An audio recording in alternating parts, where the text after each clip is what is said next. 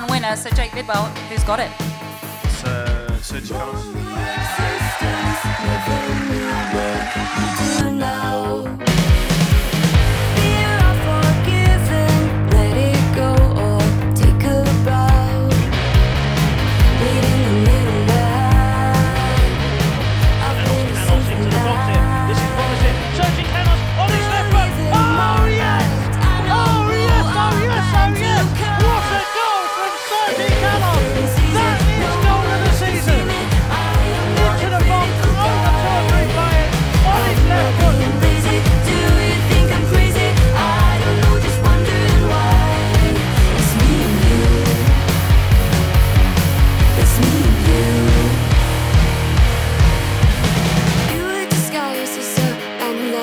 fast as eyes and need to think twice about a girl you knew but never liked.